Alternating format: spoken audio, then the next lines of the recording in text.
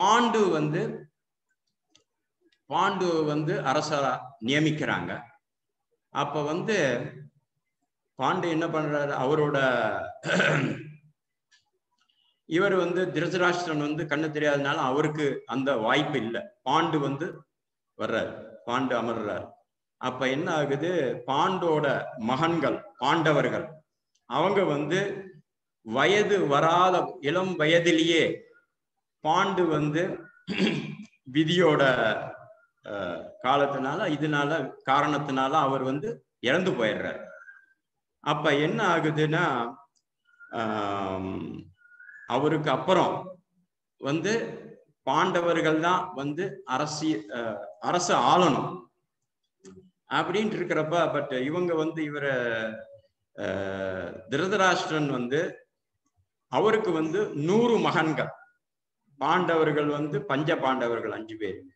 அப்போ வந்து என்ன ஆகுது? அவர் வந்து திருதராஷ்டிரன் வந்து என்ன பண்றாரு?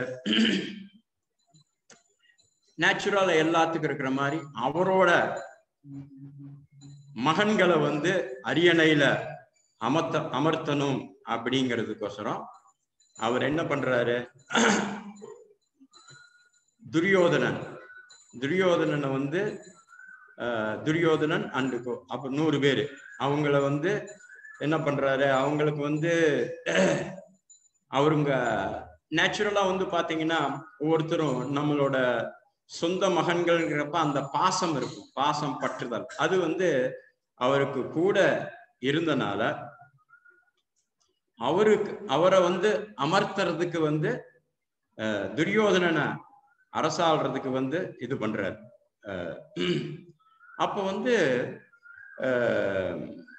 என்ன பண்றாங்க? பாண்டவர்கள் வந்து அவங்கள வந்து கைவிட்டுறாங்க. பாண்டவர்களை வந்து ஒன்றும் அவங்க வந்து கேரே பண்றது கிடையாது ஆக்சுவலா இந்த நிலைமையில இருக்கிறப்ப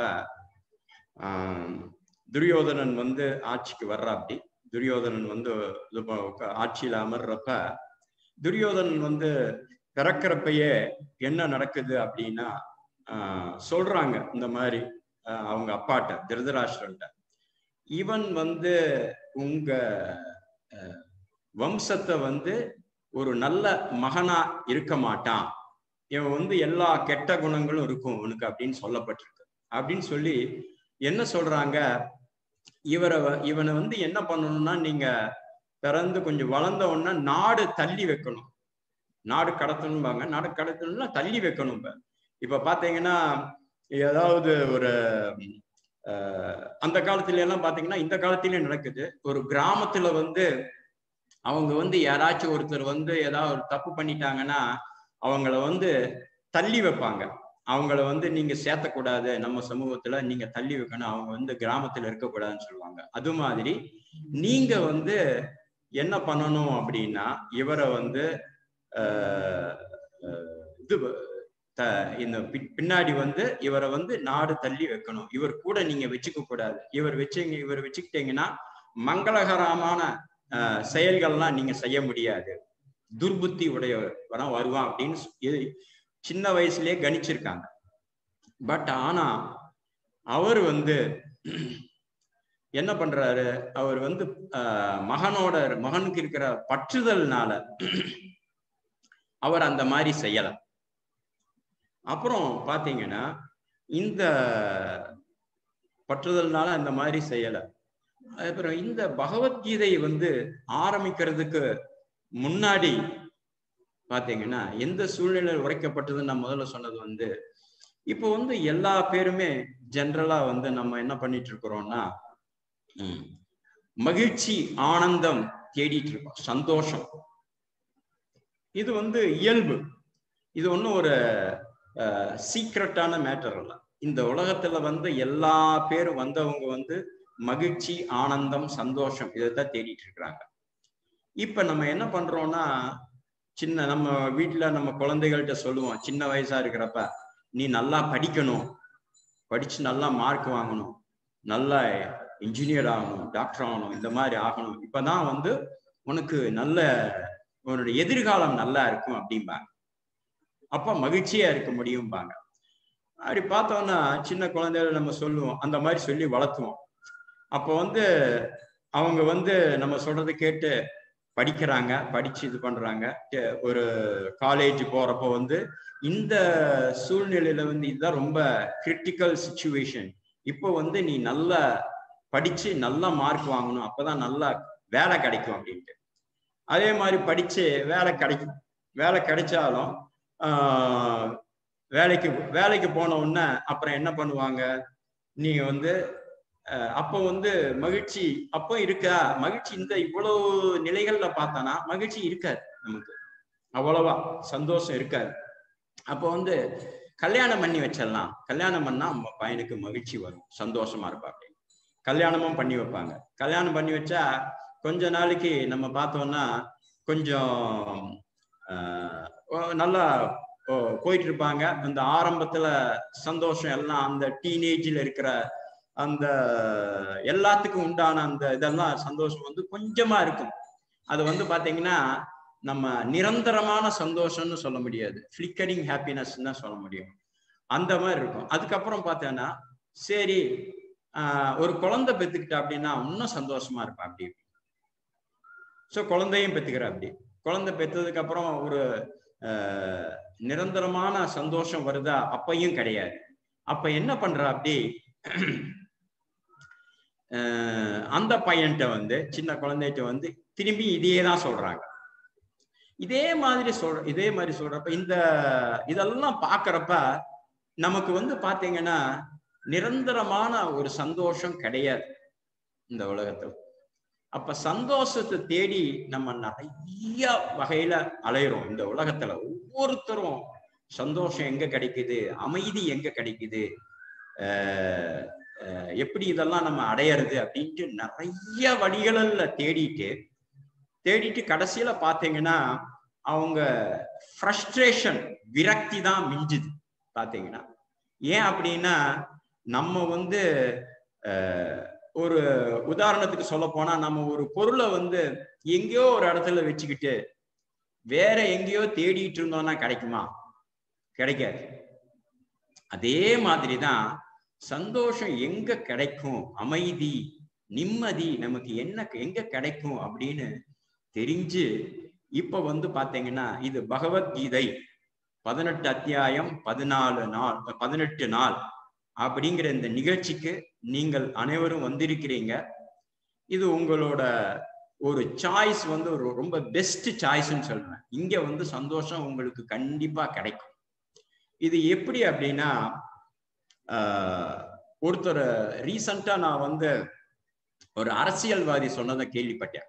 அவர் என்ன சொல்றாரு அப்படின்னா எங்க கட்சிக்கு நீங்க வாக்கு அளிச்சீங்கன்னா ஓட்டு போட்டீங்கன்னா உங்களுக்கு வந்து இந்தந்த இதெல்லாம் நிறைவேற்றுறேன்னு சொல்லி இந்த அரசியல்வாதிகள் பொதுவா சொல்லுவாங்க பாத்தீங்களா? ஓட்டு வாங்குறதுக்கு நான் வந்து நான் வந்து ஆட்சிக்கு வந்தேன்னா இவ்வளவு நிறைய சொல்லுவாங்க. சொல்லி இதெல்லாம் நான் உங்களுக்கு செஞ்சு கொடுக்குறேன் அதே மாதிரி ஒருத்தர் வந்து அந்த நம்ம எல்லாம் கேள்விப்பட்டிருப்போம் இந்த பாண்டு ரெஜிஸ்டர் பண்ணுவாங்க. வீடு ரெஜிஸ்டர் பண்றது பணம் கொடுத்து வாங்குறது லோன் கொடுத்ததுக்கு வந்து ரெஜிஸ்டர் அதை அந்த பத்திரம் பத்திரம் பதிவு பண்ணுவாங்க. ஏன்னா அதுதான் ப்ரூஃப் கடைசியில் அவர் இல்லைன்னு சொல்லிட்டாருன்னா ஒண்ணு. அதனால ஒரு கட்சி வந்து இதே மாதிரி பண்றாங்க. இந்த மாதிரி இவ்வளவு நிறைய கண்டிஷன்லாம் போட்டு இதெல்லாம் நான் வந்தேன்னா நிறைவேற்றுறாங்க அப்ப அவரே நிறைவேற்றுறேன்னு சொல்றப்ப இப்ப நம்ம வந்து பகவான் வந்து இங்க வந்து சொல்றாரு பகவத்கீதையில நான் சொல்றத செஞ்சா இது நடக்கும் அப்படின்ட்டு. அப்ப இதுல வந்து நம்ம நம்பிக்கை வச்சு நீங்க இவ்வளவு பேர் வந்திருக்கீங்க இப்ப இந்த நிகழ்ச்சிக்கு. இந்த உங்களோட நம்பிக்கை வந்து கொஞ்சம் கூட வீண் போகாது. அப்ப வந்து இதுல மொத்தம் பதினெட்டு அத்தியாயத்துல வந்து ஒவ்வொரு நாளும் நம்ம ஒரு அத்தியாயம் பார்க்க போறோம். முதல் அத்தியாயத்தை வந்து நான்கு பகுதிகளா பிரிக்கலாம் நம்ம. அந்த நான்கு பகுதிகளும் வந்து பாத்தீங்கன்னா பகவத்கீதை உரைக்கப்பட்ட சூழ்நிலை அப்புறம் மங்களங்கள் பொருந்திய கிருஷ்ணர் அப்புறம் பகவான் பக்தர்களை காக்கின்றார் அப்புறம் வாழ்வின் துன்பங்கள். சோ இப்ப இப்ப வந்து பகவத்கீதை உடைக்கப்பட்ட சூழ்நிலையை நம்ம பார்த்துட்டோம். ஸ்லோகம். அந்த முதல்ல வந்து படிச்சது வந்து நம்ம முதல் அத்தியாயம் முதல் ஸ்லோகம் படிக்கிறோம் இப்ப. திருதராஷ்டிர உவாச்சா தர்மக்ஷேத்ரே குருக்ஷேத்ரே மம வேதயுஷவா மாமவா சைவ பாண்டா கிம் கருத ச- சஞ்சய மொழிபெயர்ப்பு.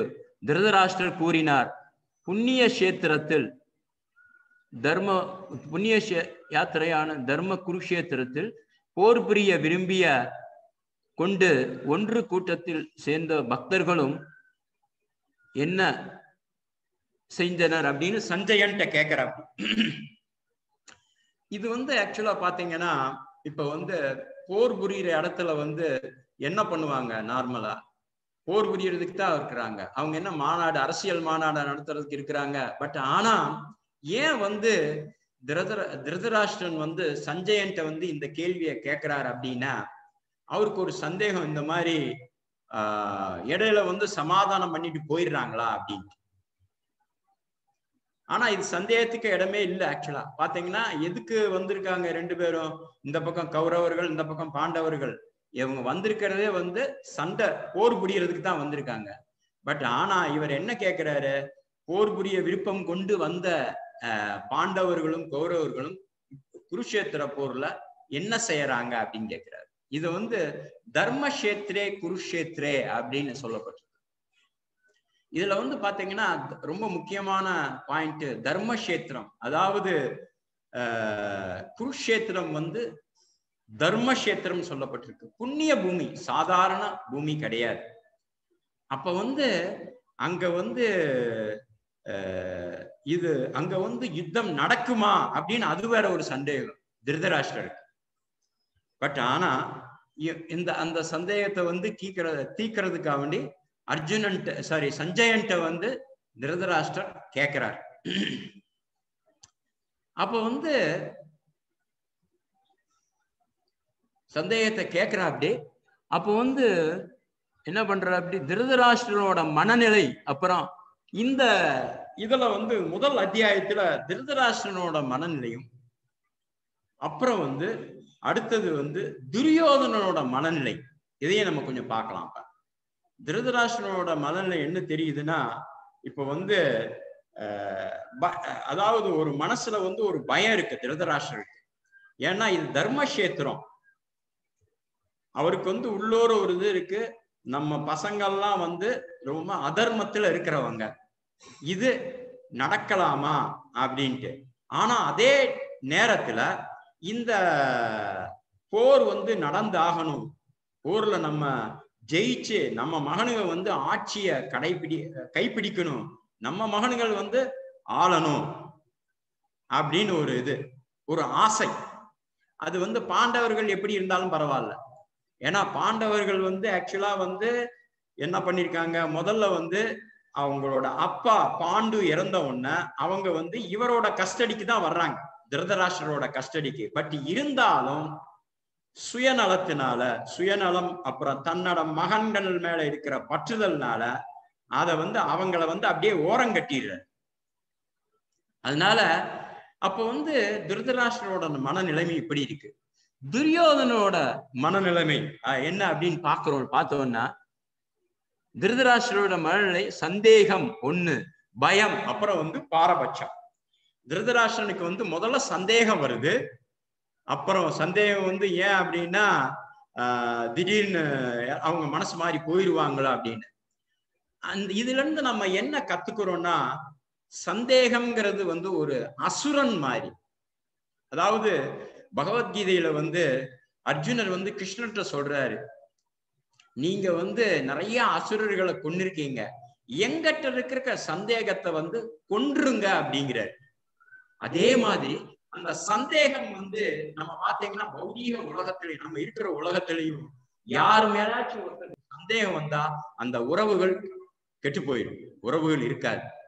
அடுத்தது பயம். பயம் வருது திருதராஷ்டிரருக்கு. பயம் என்ன பயம்னா தான் வந்து செஞ்சிட்டு இருக்கிறது தப்பு அப்படின்னு நல்லாவே தெரியுது. தெரிஞ்சுதான் வந்து பய உணர்வுல இருக்கிறார். அப்புறம் பாரபட்சம். பாரபட்சம்னா ஆஹ் திருதராஷ்டிரன் என்ன பண்றாரு? அவங்க அவரோட மகனுக்கு மட்டும் பாரபட்சமா நடந்துக்கிறார். பாண்டுவர் பாண்டுவோட மகன்களை வந்து அவர் கேரே பண்றதில்ல. பாரபட்சம்னா இதெல்லாம் வந்து பாத்தீங்கன்னா ஆஹ் இதுதான் நம்ம பாக்குறோம் நம்ம. அப்ப வந்து தர்மக்ஷேத்திரம் இது குருஷேத்திரம் தர்மம் சட்டம் இது வந்து பாத்தீங்கன்னா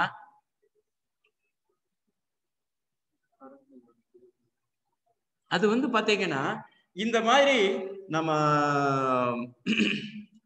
இந்த சந்தேகம் பயம் பாரபட்சம் இதுல இருந்து கத்துக்கிறோம்னா நம்ம சந்தேகம் இருந்தா நம்ம உறவுகள் எல்லாம் போயிடும் பயம் இருந்தா நம்ம வந்து எந்த ஒரு காரியமும் பண்ண முடியாது. பயம் மனசுல பயம் இருந்துச்சுன்னா எந்த ஒரு காரியமும் பண்ண முடியாது. பாரபட்சம் காட்டக்கூடாது. இதுல இருந்து நம்ம தெரிஞ்சுக்கிறோம் இதெல்லாம்.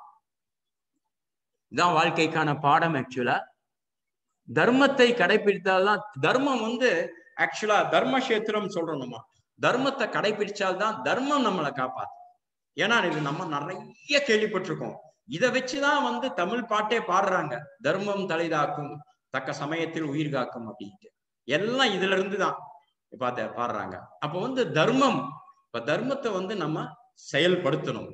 என்ன தர்மம் இருக்கோ சாஸ்திரத்துல என்ன சொல்லப்பட்டிருக்கோ நம்ம தர்மத்தை நம்ம கடைபிடிக்கலைன்னா அது வந்து நம்மளுக்கு சரிபட்டு வராது. பயம் வந்து நான் சொன்ன ஏற்கனவே தனது பற்றுதலால் தான் அதர்மமா நடக்கிறது அவருக்கு. அப்ப வந்து அவருக்கு பயம் வந்து எப்படி இருக்குன்னா தனக்கு வந்து ஆஹ், தன்னோட ப- மகன்களோட இருக்கிற நல்ல ஒரு ரொம்ப ஒரு பாசத்தினால அதர்மமா நடக்கிறார். சோ அந்த மாதிரி இருந்தா அது. அடுத்தது வந்து பாரபட்சம் பாரபட்சம் வந்து இருக்கக்கூடாது. அப்ப வந்து பாடம் என்ன சொல் இதுல இருந்து தெரிஞ்சுக்கணும்னா அளவுக்கு அதிகமா அளவுக்கு அதிகமான பற்றுதல் கவலையை ஏற்படுத்தும். அளவுக்கு அதிகமான பற்றுதல் கவலையை ஏற்படுத்தும் அப்படி அப்படின்னா பற்றுதல் வேணும் தான் நம்ம. அது என்ன சொல்லப்பட்டிருக்கு? சாஸ்திரத்துல வந்து அந்த பற்றுதல் வந்து தாமரை இலையில தண்ணி ஒட்டாம இருக்குது பாத்தீங்களா? அந்த மாதிரி இருக்கும்.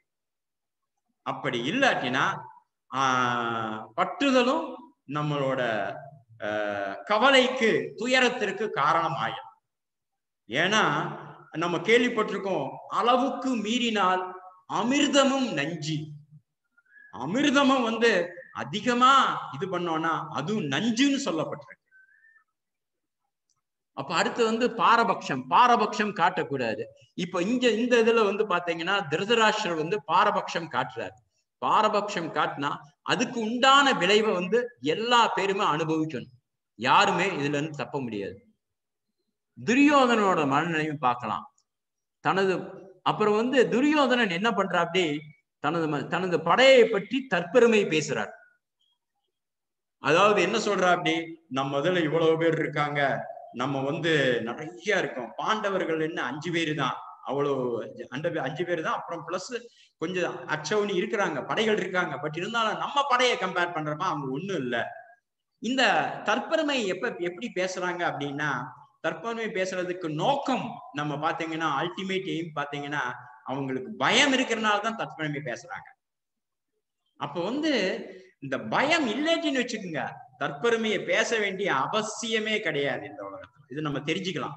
அப்போ நம்ம தெரிஞ்சுக்கலாம் யார் ஒருத்தர் வந்து தற்பெருமை பேசுறாங்களோ அவங்களுக்கு உள்ளூர பயம் இருக்கு. அதனால தான் அவங்க தற்பெருமை பேசுறாங்க. அப்புறம் வந்து நேர்மையானவர்களை சந்தேகப்படுவது. நேர்மையானவர்களை சந்தேகப்படுவதுன்னா துரியோதனை என்ன பண்றா அப்படி துரோணாச்சாரியார சந்தேகப்படுறா அப்படி பீஷ்மாச்சாரியார் சந்தேகப்படுறா அப்படி. அவங்க வந்து என்னதான் கௌரவர் அவங்களோட சைட்ல இருந்தாலும் அது சந்தேகப்படுறாப்பு அந்த சந்தேகங்கிறது வந்து இப்ப நம்ம கொஞ்ச நேரம் முன்னாடி சொன்ன மாதிரி அசுரன் மாதிரி. அது வந்து ஒரு நோயின்னு சொல்லலாம் நம்ம ஆக்சுவலா அசுரன்னா அந்த சந்தேகத்தை வந்து நம்ம ஆரம்பத்திலேயே வந்து வேரோட அழிக்கலைன்னா அது வந்து பின்னாடி வந்து விஸ்வரூபமா எடுத்து அதனால நம்ம பிரச்சனைகளை நிறைய சந்தேகிக்கணும். ச- சந்திக்க வேண்டி இருக்கும் பௌதீக உலகத்துல நம்ம பார்க்கலாம். நிறைய பேரு உறவுகளுக்குள்ள சந்தேகம் வர்றது அவங்க உறவே பிரிஞ்சு போயிருது. இந்த மாதிரி. சோ சந்தேகத்தை வந்து நம்ம அவா அவாய்டு பண்ணணும். அப்புறம் இதுல இருந்து வாழ்க்கைக்கான பாடம் தான் சந்தேகத்தை வந்து அந்த சந்தேகம் இருந்துச்சுன்னா நம்மளோட உறவுகள் எல்லாம் போயிடும் அடுத்தது நம்ம பார்க்கலாம். அடுத்து வாழ்க்கைக்கான சொல்லியாச்சு. ச அடுத்த ஸ்லோகம் ஒன்னு புள்ளி பத்தொம்போது. சகோனே தரதராஷ்டதாயம் ஹிருதயானி விரயோதாத் தபசந்த பிரதீவிம் சைவா துமுகோ பகுவாம் நதா. பல்வேறு சந்தேகங்களின் முடக் முழக்கம் பல்வேறு சங்கொலிகளின் முழக்கம் பேரிகையாக எழுந்து பூமியில் வானமும் நடுங்கும் அளவு திருதராஷ்டிரின் மகன்களின் மனதை ஆஹ், செ- ஆஹ், கொந்தளிக்க செய்தன. இப்ப வந்து பாத்தீங்கன்னா அடுத்து வந்து இந்த படை ஆரம் இந்த போர் ஆரம்பிக்கிறதுக்கு முன்னாடி ஆஹ், எல்லாமே சங்கு ஊதுறாங்க. இதுல என்ன சொல்லப்பட்டிருக்கு? கிருஷ்ணர் ஊதுற கிருஷ்ணர் ஊதுற ஆஹ், சங்கு. முதல்ல வந்து பீஷ்மர் அவங்க துரியோதனனோட சைட்ல வந்து பீஷ்மாச்சாரியர் அவங்க ஊதுற சந்து சங்கு வந்து துரியோதனுக்கு கொஞ்சம் மகிழ்ச்சி கொடுக்குது.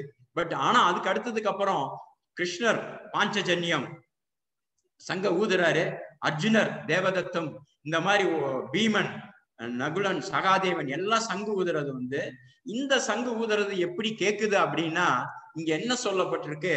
ஒரு ஆஹ், இடி உழுகிற மாதிரி அவங்களோட மனசுல வந்து கேக்குதான் யாரோட மனசுல? கௌரவர்களுக்கு.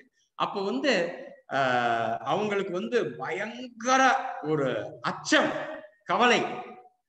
இப்ப ஒண்ணும் கிடையாது.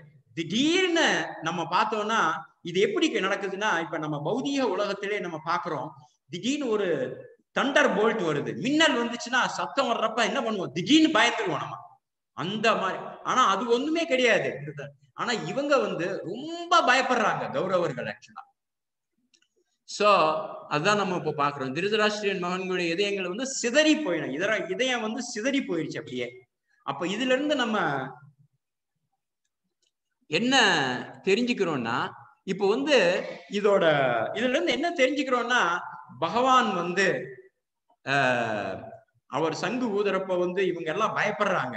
இன்னொன்னு வந்து என்ன தெரிஞ்சுக்கிறோம்னா பகவான் கிருஷ்ணர் இருக்கிற இடம் வந்து வந்து அங்க அவர் சங்கு ஊதுறதுன்னா எல்லாம் பயந்துடுறாங்க கிருஷ்ணரது இருப்பு வந்து வெற்றியை வந்து உறுதிப்படுத்துது. எப்படின்னா கிருஷ்ணர் வந்து ஆஹ், கடைசி அத்தியாயத்துல பகவத்கீதையில சஞ்சயன் சொல்றா அப்படி எத்திர யோகேஸ்வர கிருஷ்ணோ எத்திர பார்த்த தனுதர தத்ர ஸ்ரீ துருவாநிதி மதிர்மமா? அப்படிங்கிற அப்படி. சஞ்சயன் சொல்றா அப்படி இந்த மாதிரி திருதராஷ்டிரன்ட்ட நீங்க என்னவோ நினைச்சுக்கிட்டு இருக்கீங்க க- உங்க மகனுங்கெல்லாம் வெண் ஜெயிச்சு ஜெயிச்சிருவாங்கன்ட்டு. பட் ஆனா என்னோட அபிப்பிராயம் என்னன்னா எங்க கிருஷ்ணர் இருக்கிறாரோ யோகேஸ்வரரான கிருஷ்ணர் எல்லா யோகேஷன் இந்த உலகத்துல யோகே யோகிகள் இருக்காங்க. எல்லாத்துக்கும் யோகேஸ்வரர் கிருஷ்ணர் இருக்கிறாரோ எங்க உயர்ந்த வில்லாளியான அர்ஜுனன் இருக்கிறாரோ அங்க வந்து அசாதாரணமான வெற்றியும் வலிமையும் நியாயமும் இருக்கும் என்று யார் சொல்றா? சஞ்சயன் சொல்றா அப்படி. இத வந்து இத நம்ம எப்படி நம்ம எடுத்துக்கலாம் அப்படின்னா இது வந்து நம்ம எப்படி லா புக்ல கோர்ட்ல வந்து அந்த லா வந்து கோட் பண்ணி சொல்றாங்களோ அது மாதிரி நம்ம இதை எடுத்துக்கலாம். இதுல நம்ம சந்தேகமே பட வேண்டிய தேவையில்லை. அர்ஜுனர் அர்ஜுனர் இது அடுத்தது பாத்தீங்கன்னா ஒரு இதுல வெற்றி வந்து கிருஷ்ணருக்கு தான் கிடைக்கிறது எப்படி சொல்றோம்னா அஹ், கொடியில வந்து ஹனுமான்ஜி இருக்கிறார். ஹனுமான்ஜி. அப்ப பக்தர்களுக்கு வந்து இன்னொரு பக்தரே உதவி பண்றாரு.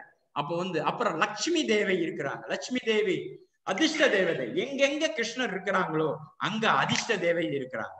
அவங்க வேற எங்கேயும் போக மாட்டாங்க. அவங்களுக்கு இன்னொரு பேர் சஞ்சலான் பேர். அமைதியற்று இருப்பாங்க அவர்.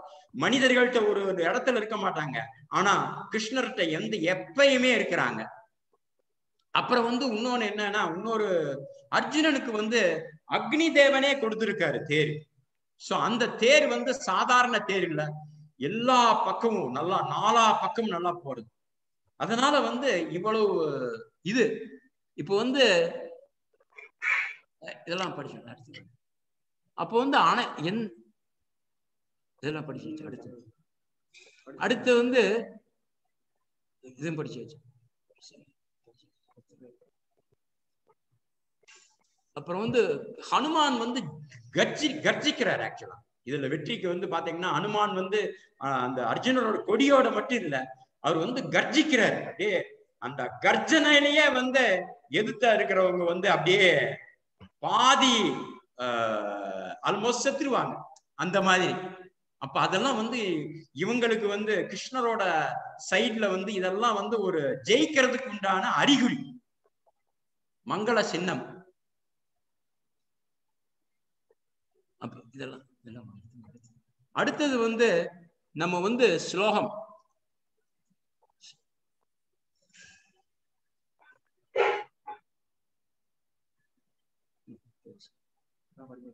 இல்ல இதெல்லாம் படிச்சு வச்சு. இல்ல அடுத்து. பெருசா இதான். காட்டுங்க. இல்ல இல்ல இதுக்கு அடுத்தது. இதுக்கு அடுத்தது. இப்போ வந்து நம்ம அடுத்த பகுதி மூன்றாவது பகுதிக்கு போலாம். பகவத்கீதையில முதல் அத்தியாயத்துல. இது வந்து சஞ்சய வாதா ஏவம் முக்தோ ரிஷிகேஷோ குடாகேஷ ந பாரத சேனையோர் உபயோர் மத்திய யதோசவம் இது வந்து என்ன பண்றா அப்படி ஆக்சுவலா நம்ம பார்த்தோம்னா ஆஹ், இந்த அர்ஜுனனுக்கு வந்து பகவான் வந்து தேரோட்டுறார்.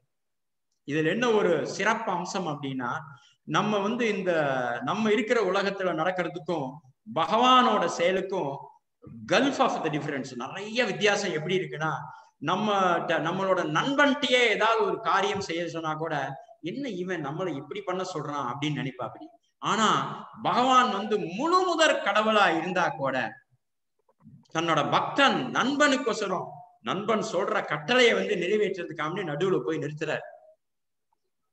இவர் இப்படி சொன்ன உடனே உடனே ரெண்டு தரப்பு கௌரவர்களுக்கும் பாண்டவர்களுக்கும் இடையில கொண்டு போய் நிறுத்துறாரு. அவர் வந்து பகவானுக்கு வந்து அச்சுதர் அப்படின்னு இன்னொரு பேரு. பகவானை பத்தி பாத்தீங்கன்னா அச்சுதர் அச்சுதர்னா எந்த நிலையிலும் வீழ்வடையாதவர். நம்ம எல் மத்த எல்லா பேருமே இந்த உலகத்தில் வீழ்ச்சி அடைகிறவங்க அதனால ஆஹ் அவரோட நித்தியமானவர்னாலும் அவரு அவரு அவரை யார் சார்ந்து இருக்கிறாங்களோ அவங்க வந்து தோல்வியுறுவதற்கு வாய் வாய்ப்பே இல்லை. அப்ப வந்து ஆஹ் இதுல வந்து என்ன அப்படின்னா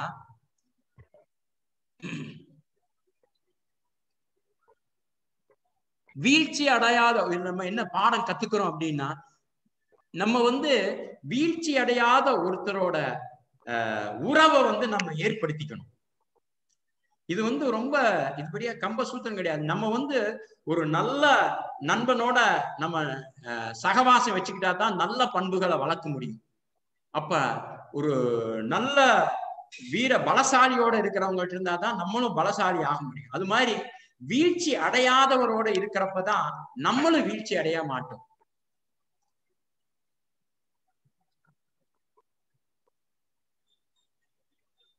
நம்ம வந்து அதாவது பகவான் வந்து அவரு இதுல இருந்து என்ன தெரிஞ்சுக்கிறோம்னா பகவான் வந்து அவரோட பக்தர்களுக்கே சேவை செய்யறாரு அப்ப. இது ரொம்ப ரொம்ப முக்கியமான பாடம்.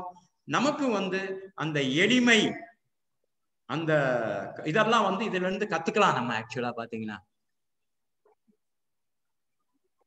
அப்போ வந்து நம்ம வந்து எவ்வளோ பேர் வந்து ஒரு உத்தியோகத்துக்காண்டி நம்ம வாகனம் ஓட்டுவோம்.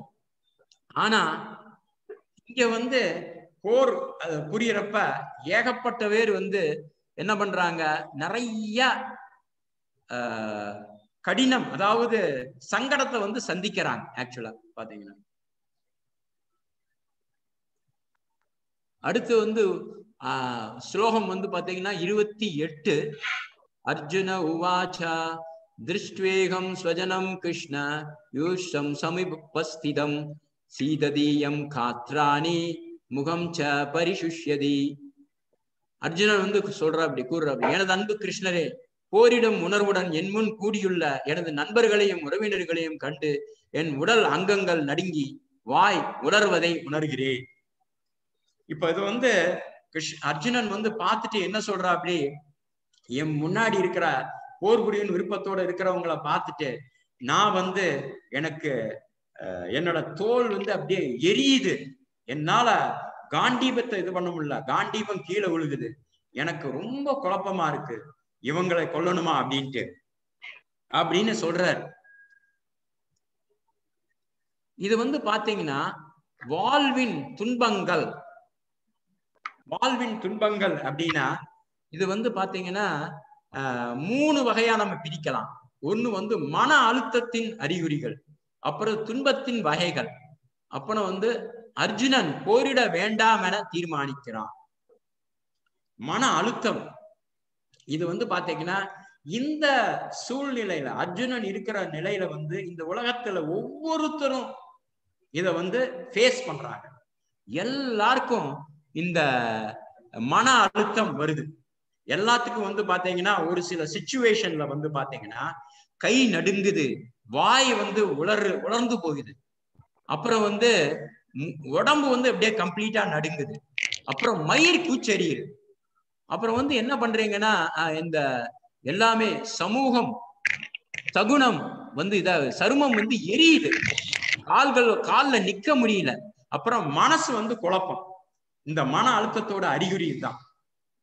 இது வந்து பாத்தீங்கன்னா இது வந்து இதுக்கு வந்து நம்ம என்ன பண்றாங்க? நார்மலா வந்து நிறைய பேர் வந்து ஸ்ட்ரெஸ் மேனேஜ்மெண்ட்னு இந்த உலகத்துல நிறைய சொல்லி கொடுக்குறாங்க. ஆனா என்ன போனாலும் எங்க போய் எந்த ஸ்ட்ரெஸ் மேனேஜ்மெண்ட் மன அழுத்தத்தை இது பண்ணாலும் இதை கட்டுப்படுத்த முடியாது. ஆனா இங்க வந்து என்ன பண்றாரு? பா- அர்ஜுனர் வந்து கிருஷ்ணர்கிட்ட சொல்றாரு இந்த மாதிரி என்னால இது பண்ண முடியலன்னு சொல்றப்ப வந்து பகவத்கீதையை வந்து பகவான் வந்து சொல்லி கொடுக்கிறாரு. அப்புறம் வந்து பாத்தீங்கன்னா மன அழுத்தத்தை வந்து இது பண்றாரு எல்லாம் சொல்லி கொடுக்கிறாரு. இப்போ வந்து ஆஹ், நம்மள்ட்ட வந்து நம்ம வந்து இந்த மூணு விதையா மூணு விதமான துன்பத்தை வந்து அனுபவிக்கிறோம் ஆக்சுவலா இந்த உலகத்துல. ஒண்ணு அத்தியாத்மிக இன்னொன்னு அதிதெய்வீக இன்னொன்னு வந்து அதிபௌதிக. அத்தியாத்மிக துன்பம் அப்படின்னா நம்ம மனசு உடல்னால வர்றது. அப்புறம் வந்து அதிதெய்வீக அப்படின்னா இக இயற்கை சீற்றங்கள். இப்ப எர்த்துக்குவேக்கு இந்த மாதிரி எரிமலை இந்த மாதிரி வர்றது அது மாதிரி வர்றது. அப்புறம் அதி பௌதிக மற்ற உயிர்வாளிகள்னால வர்றது. இப்ப ஒண்ணும் கிடையாது. கொசு கடிச்சதுன்னா நமக்கு ரொம்ப இதா இருக்குது. அப்புறம் வந்து பாத்தீங்கன்னா நம்ம வந்து இப்போ வந்து லேட்டஸ்டா எக்ஸாம்பிள் சொன்னா கொரோனாவும் சொல்லலாம். இந்த இந்த மூன்று விதமான துன்பத்திலிருந்து மூன்று விதமான துன்பத்தை வந்து நம்ம இந்த உலகத்துல அனுபவிக்கிறோம். இதுல இருந்து விடுபடுறதுக்கு நம்ம பகவான் பகவானைத்தான் சரணடையணும். பகவானோட கருணை பகவான் சரண பகவானோட கருணை இல்லாம இதுல இருந்து சரணடையவே முடியாது. அப்போ வந்து கருணை எப்படி? அர்ஜுனன் வந்து இந்த மாதிரி சொல்லிட்டு காண்டிபத்தை காண்டீபத்தை கீழே போட்டு நான் வந்து போர் செய்யல அப்படிங்கிற அப்படி அப்போ வந்து இதுல வந்து அவர் வந்து சந்தோஷத்தை இழந்துடுறாரு அப்போ இதுல வந்து என்ன இன்னொரு பாயிண்ட் அப்படின்னா அவங்கள கொன்னனா அந்த பாவம் எனக்கு வரும்னு பயப்படுறாரு அப்புறம் வந்து அவங்கள வந்து நம்ம கொன்னுட்டோம்னா அவ அந்த அவ்வளவு நிறைய கோடிக்கணக்கான பேர் இருக்கிறாங்க. அவங்கள இழந்தனால அவங்களோட டிபெண்டன்ஸ் அவங்களோட உறவினர்கள் வந்து அவங்கள வந்து எல்லாம் அவங்க துயருற்றுவாங்க கவலை அடைஞ்சிருவாங்க.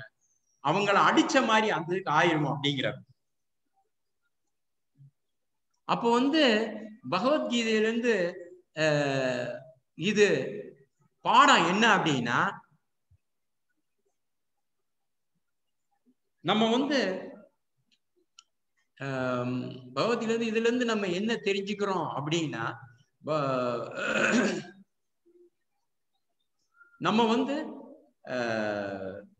ஒரு சிறந்த அதிகாரி அதனால பகவான் சரணடைஞ்சு அவரோட சொல்படி கேட்டு நடக்கணும் ஆக்சுவலா இப்போ இது என்ன பார்த்தோம்னா இப்ப நம்ம வந்து உம், பகவத்கீதையை வந்து முதல்ல ஒரு ரிவ்யூ பண்ணலாம். முதல்ல வந்து நம்ம எப்படி எந்த சூழ்நிலையில பகவத்கீதை உரைக்கப்பட்ட சூழ்நிலை நம்ம அப்புறம் வந்து திருதராஷ்டிரனோட மனநிலை அதுல இருந்து நம்ம பாக்குறோம் துரியோதனோட மனநிலை பாக்குறோம் பயம் பாரபட்சம் அது பாக்குறோம் அப்புறம் துரியோதனன் வந்து தனது படையை பற்றி கர்வமா சொல்றாப்படி அப்புறம் வந்து சந்தேகப்படுறாப்படி அப்புறம் வந்து என்ன பண்றாப்படி மன அழுத்தத்தில் அதாவது அர்ஜுனர் வந்து ஆஹ் இந்த இவங்களெல்லாம் பார்த்த உடனே மன அழுத்தம் வருது. அவர்னால நிக்க முடியல. அதெல்லாம் பாக்குறோம் நம்ம அப்புறம். அப்புறம் வந்து பாண்டவர்கள் வந்து கடைசியில பாத்தீங்கன்னா அப்புறம் ஆஹ் நம்ம என்ன பாக்குறோம்னா பகவான் இருக்கிற பகவான் வந்து பாண்டவர்களோட சைட்ல இருக்கிறனால என்னென்ன அட்வான்டேஜ் அதை நம்ம பாக்குறோம் இதெல்லாம் பாக்குறோம் நம்ம. அப்போ வந்து பாத்தீங்கன்னா ஆஹ் இதுல இருந்து கடைசியில நம்ம என்ன தெரிஞ்சுக்கிறோம் அப்படின்னா இந்த மாதிரி ரொம்ப முக்கியமான பாயிண்ட் இதுல அப்படி என்னன்னா திருப்பி வந்து சஞ்சயன் சொல்றாரு எங்கெங்க பகவான் இருக்கிறாரோ எங்கெங்க அர்ஜுனன் இருக்கிறாரோ அங்க வந்து நியாயம் வழியும் வெற்றியும் இருக்கும் அப்படிங்கிற அப்படி. அப்போ வந்து இந்த அத்தியாயத்துல முதல் அத்தியாயத்துல வந்து இதோட சாரம் என்ன அப்படின்னா உம் நம்ம வந்து அஹ் இதெல்லாம் படிச்சோம் நம்ம இப்போ. வந்து எல்லாம் தெரிஞ்சதுக்கு அப்புறம் வந்து இதோட இது வந்து பாத்தீங்கன்னா நம்ம வந்து பகவத்கீதையை வந்து ஆஹ் நீங்கெல்லாம் வந்து எவ்வளோ பேர் ஏற்கனவே படிச்சிருப்பீங்க.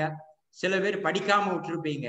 பட் ஆனா நம்ம என்ன பண்றோம்னா திருப்பி திருப்பி இத பகவத்கீதைய படிக்கணும். படிச்சு இத வந்து நம்ம எல்லாம் தெரிஞ்சுக்கிட்டு அப்புறம் வந்து கடைசியில வந்து நம்ம அதை கடைபிடிக்கிறதுக்கு நம்ம முயற்சி செய்யணும். அப்ப இந்த முதல் அத்தியாயத்துல வந்து பார்த்தோம் இவ்வளவு விஷயம் பார்த்தோம் ஆக்சுவலா அப்ப இப்ப. முதல் அத்தியாயத்துல இருந்து நம்ம பார்த்துட்டோம். முதல் அத்தியாயத்துல வந்து நம்ம வந்து இந்த மாதிரி பகவத்கீதை உரைக்கப்பட்ட சூழ்நிலை அப்புறம் இவங்க மனநிலைமை அப்புறம் வந்து ஆஹ், எப்படி வந்து துரியோதனனுக்கு வந்து துரியோதனன் வந்து தற்பெருமை சொல்றா அப்படி இது எல்லா ஸ்லோகம் படிச்சோம். அப்புறம் பாண்டவர்களோட வெற்றியோட அறிகுறி இது எல்லாமே இருக்குது ஆக்சுவலா பாத்தீங்கன்னா. அப்புறம் வந்து ஆஹ் இதெல்லாம் நம்ம பார்த்தோம். அப்புறம் வந்து என்னன்னா பகவான் வந்து அவரது பக்தர்களை வந்து நேசிக்கிறார். ரொம்ப ரொம்ப முக்கியம் ஆக்சுவலா பாத்தீங்கன்னா பகவான் வந்து ஆஹ் சொல்றாரு ஆக்சுவலா நான் கௌந்தேய பிரிதி ஜானிகி நமே பக்த பிரணஷ்யதி அப்படின்னு சொல்றாரு ஒரு ஸ்லோகத்துல. அதுக்கு என்ன அர்த்தம்னா அர்ஜுனன்ட்ட சொல்லி சொல்றாரு அர்ஜுனா நீ தைரியமா சொல்லு இந்த உலகத்துக்கு என்னோட பக்தன் என்றுமே தோல்வி அடைவதில்லைங்கிறார் அப்ப நம்ம வந்து இதுல இருந்து நம்ம என்ன தெரிஞ்சுக்கிறோம் அப்படின்னா நம்ம வந்து இந்த உலகத்துல யார் யாரையோ நம்புறோம். யார் யாரையோ நம்புறோம் நம்ம.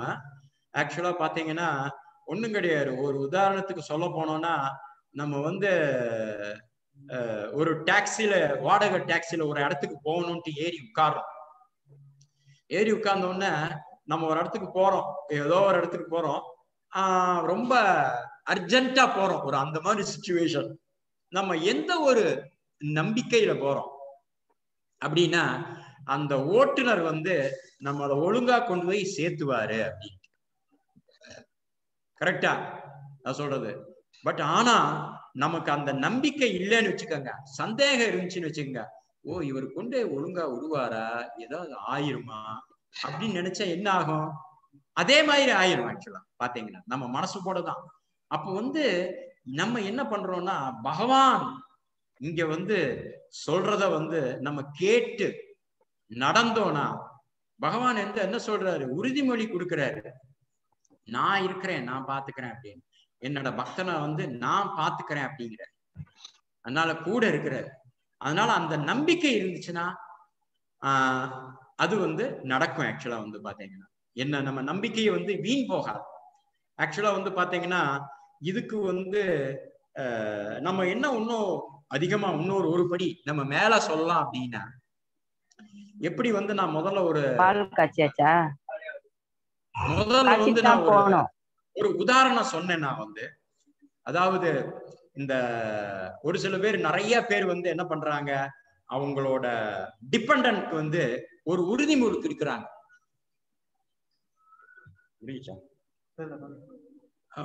உறுதிமொழி கொடுக்குறாங்க.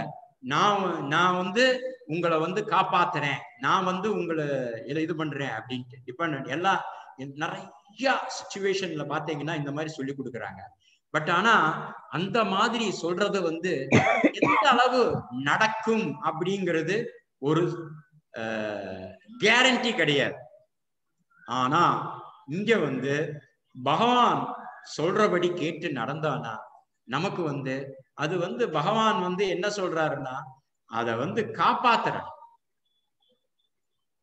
ஏன் அப்படின்னா ஆஹ் நிறைய இதுல வந்து சொல்லப்பட்டிருக்கு பகவான் வந்து அதுவும் எஸ்பெஷலி பக்தனை வந்து காப்பாத்துற நிறைய அப்புறம் சொல்றாரு. இதுக்கப்புறம் வந்து அடுத்த சாப்டர்ல வந்து அர்ஜுனனுக்கு நிறைய சொல்லி கொடுக்குறாரு. இந்த இந்த நீ வந்து இந்த மாதிரி பண்ணணும் அதெல்லாம் சொல்லணும்னு சொல்லி கொடுக்குறாரு. அதெல்லாம் நம்ம பார்க்க போறோம். பட் ஆனா நமக்கு என்ன ஒரு நம்பிக்கை வேணும் அப்படின்னா ஒரு அசைக்க முடியாத நம்பிக்கை அன்ஷேக்கபிள் ட்ரஸ்ட் பகவான் மேல வேணும். பகவான் மேல அந்த அன்ஷேக்கபிள் இப்ப எப்படி நம்ம சொன்னோம்? கொஞ்ச நேரத்துக்கு முன்னாடி ஒரு சின்ன உதாரணம் சொன்னேன்.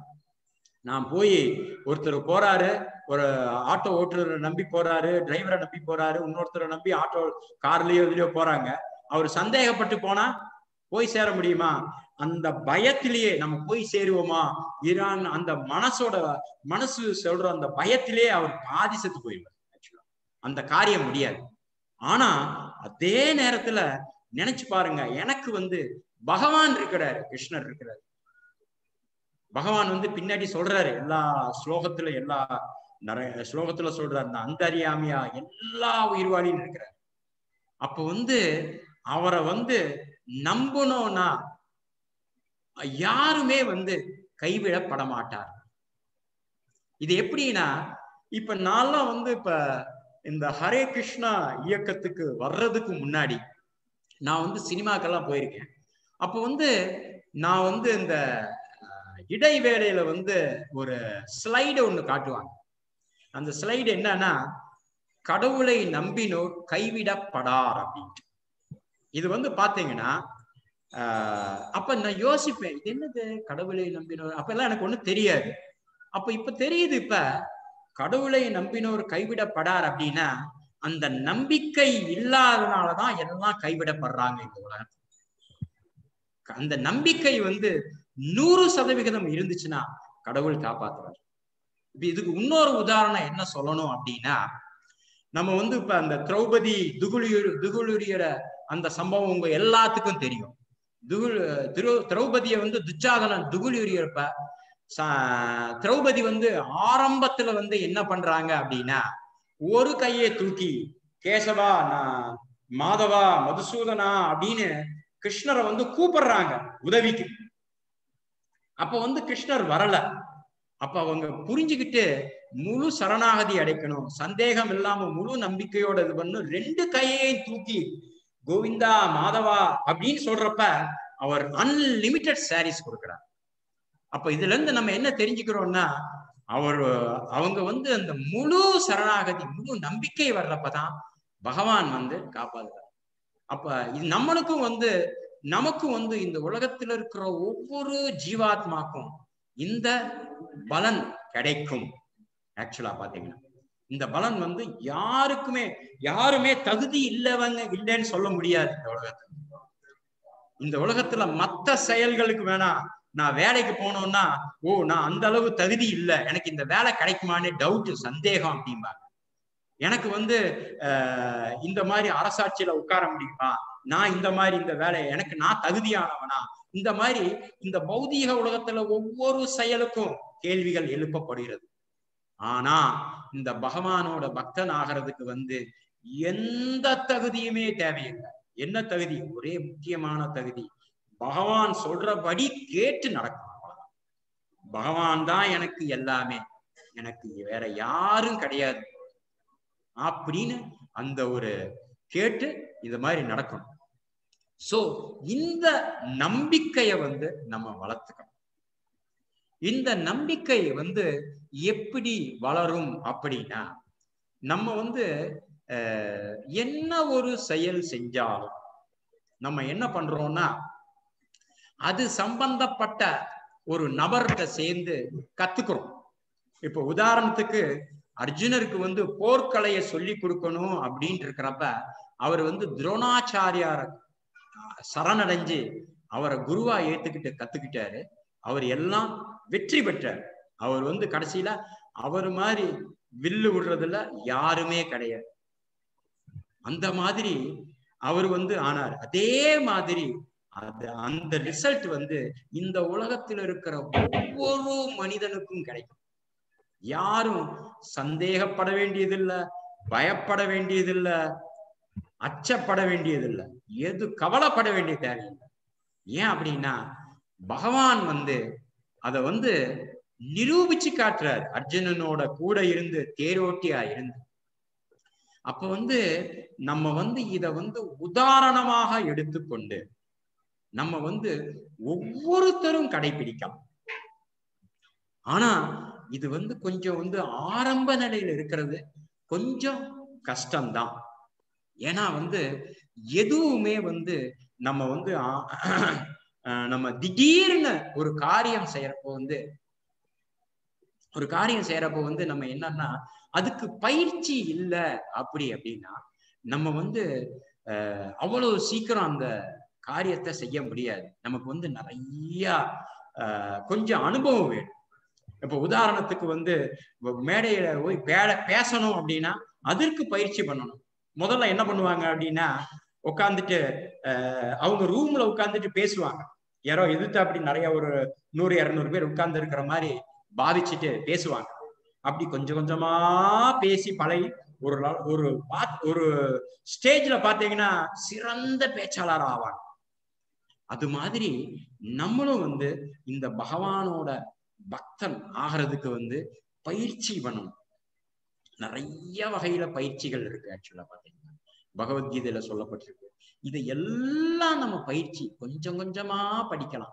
இப்ப வந்து பாத்தீங்கன்னா பகவத்கீதையை வந்து பாத்தீங்கன்னா நிறைய பேரு ஆஹ் நினைக்கிறாங்க இது நம்ம வந்து என்னால எல்லாம் படிக்க முடியாது சாமி. என்னால படிச்சு புரிஞ்சுக்க முடியாது சாமி அப்படிம்பா.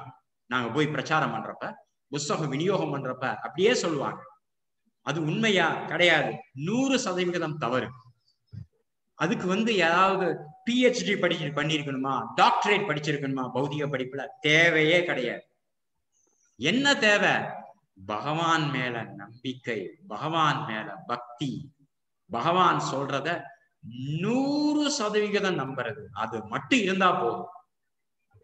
அதாவது அது வந்து நம்ம வந்து தெரிஞ்சுக்கலாம். பகவானை புரிஞ்சுக்கலாம். பகவானோட பக்தனாகலாம். பகவானோட பக்தனாகலாம். எல்லா செயல்களையும் நமக்கு வெற்றி கிடைக்கும். நம்மளுக்கு தோல்வியே கிடையாது. ஏன் அப்படின்னா இந்த மாதிரி இருக்கிற ஒரு ஆத்மாக்கு என்னையவே சார்ந்து இருக்கிற ஒரு ஆத்மாக்கு நான் வந்து அந்த ஆத்மாவுக்கு அந்த மனிதனுக்கு நான் வந்து உதவி பண்றேன்னு பகவானே சொல்றேன் அந்த நம்பிக்கை வேணும். நம்பிக்கையை வளர்த்துக்கணும் நம்ம. அப்ப அந்த நம்பிக்கை வளர்றதுக்கு நம்ம என்ன பண்ணணும் அப்படின்னா அந்த நம்பிக்கை இருக்கிறவங்களோட அசோசியேஷன் சங்கம் வைத்து கொள்ளணும். மத் அந்த சங்கத்தை மட்டும் வச்சுக்கிட்டு மத்த சங்கத்தை வந்து தவிர்க்கிறதுக்கு முயற்சி பண்ணணும். அதுதான் ரொம்ப ரொம்ப முக்கியம். இப்ப யாருமே யா இந்த உலகத்துல யாருமே சொல்ல முடியாது. இல்ல எனக்கு வசதி வாய்ப்பு இல்ல எனக்கு பக்தி பண்றதுக்கு. நான் ரொம்ப ஏழை பரம ஏழை. என்னால ஒண்ணுமே பண்ண முடியாது. தேவையில்லை. உங்களுக்கு காசு பணம் தேவையில்லை. வசதி வாய்ப்பு தேவையில்லை. எதுவுமே தேவையில்லை. என்ன தேவை? பகவான் மேல பக்தி. பகவான் சொல்றத கேட்டு நடக்கிறது. இந்த மாதிரி நடந்தா என்ன வேணா நம்ம செய்யலாம் இந்த உலகத்துல. அதாவது நாங்க ஒரு குரு பிரணாம் சொல் பண்றதுக்கு முன்னாடி நாங்க ஒரு மந்திரம் சொல்லுவோம். மந்திரம்ல ஒரு ஸ்லோகம் மாதிரி சொல்லுவோம். முகம் கரோதி வாச்சாலம் பங்கும் லங்கையதே இரும் யத்கிருபாதமகம் வந்தே ஸ்ரீகுரும் தீனதாரினம் அப்படின்ட்டு. இதுக்கு என்ன அர்த்தம் அப்படின்னா ஆன்மீக குருவோட கருணையினால செவிடன் கூட கேட்க முடியும் ஊமையை கூட பேச முடியும். நம்ம ஆக்சுவலா பாத்தீங்கன்னா இந்த ஊம இந்த பௌதீக உலகத்துல பேச முடியாதவங்களை வந்து நம்ம எவ்வளவு கஷ்டப்படுறோம் பேச வைக்கிறதுக்கு. என்னென்னவோ ட்ரீட்மெண்ட் கொடுக்குறோம் பேச வைக்கிறதுக்கு. ஆனா முடிய மாட்டேங்குது. ஆனா இங்க ஆன்மீக குருவோட கருணையினால அவங்கனால பேச முடியும்னு சொல்லப்பட்டிருக்கேன் அப்புறம் நொண்டி கூட நடக்க முடியும். இப்ப கால் வந்து ஒரு கால் நொண்டியா இருந்தா நடக்க முடியுமா நம்மனால? முடியாது. ஆனா இந்த ஆன்மீக குருவோட கருணை இருந்துச்சுன்னா நொண்டி கூட நடக்க முடியும். ஆனா இந்த ஆன்மீகோட குரு குரு கருணை வந்து எப்படி கிடைக்கும்? அது கிருஷ்ணர் மூலமா தான் கிடைக்கும். கிருஷ்ணர் தான் எல்லாத்துக்கும் ஆன்மீகம். எல்லாத்துக்குமே பரமகுரு. குரு மட்டும் அவர் முழுமுதற் கடவுள் மட்டும் இல்ல அவர் தான் குருவாவும் இருக்கிறார் சைத்திய குருவா ஒவ்வொரு மனிதனோட ஆஹ் இருதயத்திலும் இருக்கிறார் ஆக்சுவலா அப்ப வந்து இந்த நமக்கு வந்து இந்த முதல் அத்தியாயத்துல வந்து நம்ம என்ன பார்த்தோம்னா இந்த விஷ் இது எல்லாத்தையுமே பார்த்தோம். இதெல்லாம் வந்து நம்ம தெரிஞ்சுக்கிறது என்ன அப்படின்னா கடைசியில கிருஷ்ணர் கிருஷ்ணர் முழுமுதற் கடவுளா இருக்கிறனால கிருஷ்ணர்னால முடியாத விஷயமே இல்லை முடியாத செயலே கிடையாது. ஆனா இது வந்து ஆக்சுவலா வந்து பாத்தீங்கன்னா ஆ எப்பயுமே வந்து நம்ம வந்து ஏதாவது ஒரு நிகழ்ச்சி நடக்கிறப்ப இந்த மாதிரி போர் முடிகிறப்போ வந்து கடைசியில என்ன என்ன தெரியும்னா கடைசியில தான் நமக்கு எல்லா விஷயமே தெரியும். கடைசியில தான் ஓ இவங்க வின் பண்ணிட்டாங்களா இவங்க தோத்துட்டாங்களா அப்படின்னு தெரியும். ஆனா இதுல வந்து நமக்கு வந்து இப்பயே தெரிஞ்சுக்கிட்டோம். ஏன்னா சஞ்சயனே சொல்லிட்டார் எங்க கிருஷ்ணர் இருக்கிறாரோ அங்கதான் வந்து வெற்றி அப்படிங்கிறார். அது இல்லாம உங்க நீங்க வந்து என்னமோ நினைச்சு திருதராஷ்டிரம் சொல்ற அப்படி நீங்க என்னமோ நினைச்சுக்கிட்டு இருக்கிறீங்க உங்க பசங்க வின் பண்ணிடுவாங்கன்னு அந்த மாதிரி இல்ல அப்படிங்கிறார் ஏன்னா ஆணித்தரமா சொல்றாரு. இந்த மாதிரி. சொல்றாரு அதான். சோ இப்ப வந்து இந்த முதல் அத்தியாயத்தை பார்த்தோம். அடுத்த நாளைக்கு வந்து இரண்டாவது அத்தியாயத்தை நம்ம பார்க்கலாம். நன்றி வணக்கம். ஹரே கிருஷ்ணா. ஹரே கிருஷ்ண ஹரே கிருஷ்ண கிருஷ்ண கிருஷ்ண ஹரே ஹரே. ஹரே ராம ஹரே ராம ராம ராம ஹரே ஹரே. இந்த மந்திரத்தை வந்து ஜபம் பண்ணுங்க நீங்க. ஹரே கிருஷ்ணா. மிக்க நன்றி. இதுல என்ன அப்படின்னா நீங்க இந்த